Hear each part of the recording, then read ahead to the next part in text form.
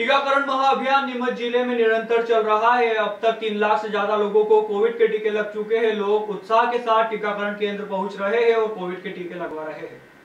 Covid टीकाकरण महाअभियान के तहत जिला मुख्यालय सहित तीनों विकास खंड नीमच, जावद, मनासा में समान रूप से कोविड वैक्सीन निरंतर लगाई जा रही है। ज़िले का हर वर्ग बड़े उत्साह के साथ टीका लगवा रहा है। 24 जुलाई की स्थिति में तीन लाख नौ हज़ार चौहत्तर वैक्सीन डोज ज़िले में लगाए जा चुके हैं।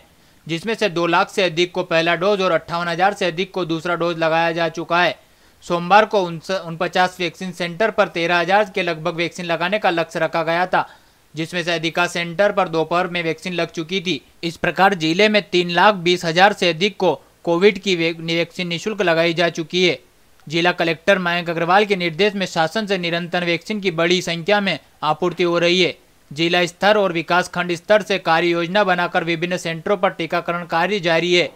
शहरी क्षेत्र में आठ से दस केंद्र पर टीकाकरण दिवसों में ऑनलाइन स्लॉट बुकिंग से टीके लग रहे हैं। वहीं अन्य शहरों, मनासा, जावद और गाँवों में ऑन द स्पॉट पंजीयन से सीधे जाकर टीके लगवा सकते हैं।